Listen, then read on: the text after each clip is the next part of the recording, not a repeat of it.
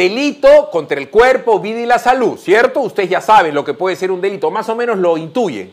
Si hay alguna fiesta chicha en algún lugar, muchas veces corre bala, corre trago, pueden haber hasta menores de edad, ya sabemos que son las chicotecas y tal. Pero regresemos a la música chicha, a la música de los cerros, a la música de, de, ¿cómo se llama?, de, de néctar, a la, a la, guinda, a la música chori, de chacalón y la nueva crema, de chacaloncito, de, clavito, ya. Esta música chicha muchas veces es relacionada con gente mal vivir. Pero tú no eres malo porque escucha chicha, tú no eres malo porque toma chela, tú no eres malo porque vas a un chichódromo. El problema es que ese chichódromo sí se lo pueden haber dado un malo que ahí hace que vendan cosas extrañas, líquidas, gaseosas y sólidas. Entonces vámonos a ver un chichódromo, ¿cómo así? ¿Cómo chicha tiene permiso este chichódromo?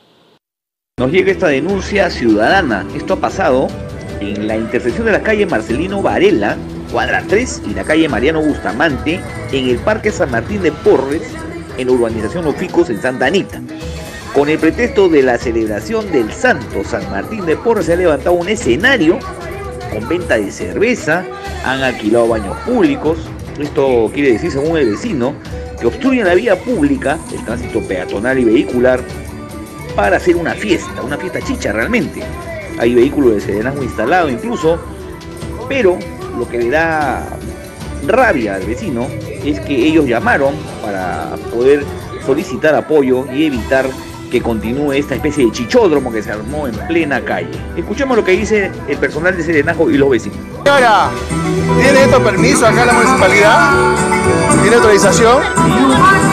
¿Así? ¿Ah,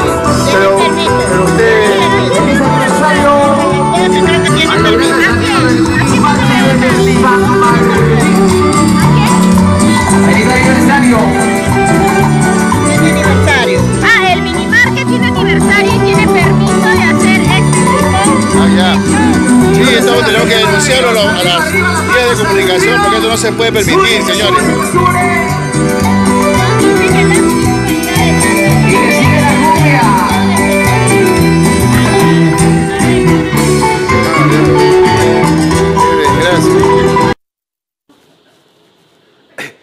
O sea, toda esta música que ustedes están escuchando es a plena luz del día.